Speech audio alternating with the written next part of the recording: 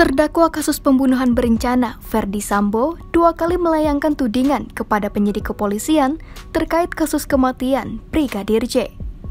Pada sidang yang digelar Senin 19 Desember 2022, Sambo menyalahkan Polri dengan menyebut penyidik ingin agar semua orang di rumahnya menjadi tersangka.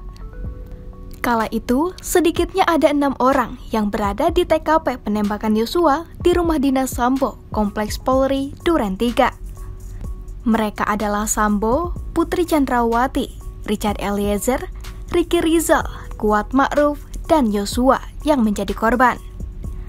Hal itu Sambo ungkapkan saat menanggapi keterangan saksi ahli kriminologi dari Universitas Indonesia, Muhammad Mustafa. Menurut Sambo, saksi ahli hanya membaca kronologi peristiwa dari pihak penyidik saja. Oleh karena itu, Sambo menilai kronologi tersebut membuat pendapat Mustafa tidak komprehensif. Dari ahli kriminolog, eh, karena sangat disayangkanlah apabila konstruksi yang dibangun oleh penyidik adalah konstruksi yang tidak secara menyeluruh diberikan kepada ahli, sehingga hasilnya juga tidak akan konferensif dan justru subjektif di mana penyidik ini menginginkan semua dalam rumah itu harus jadi tersangka. Tudingan kembali diutarakan Sambo dalam sidang yang digelar sehari setelahnya pada Selasa 20 Desember 2022. Awalnya, Sambo memberi respons atas pemutaran rekaman CCTV rumahnya. Menurut Sambo, rekaman CCTV mampu membuat terang kasus kematian Yosua lantaran konstruksi perkara yang dibangun penyidik dinilai tak objektif.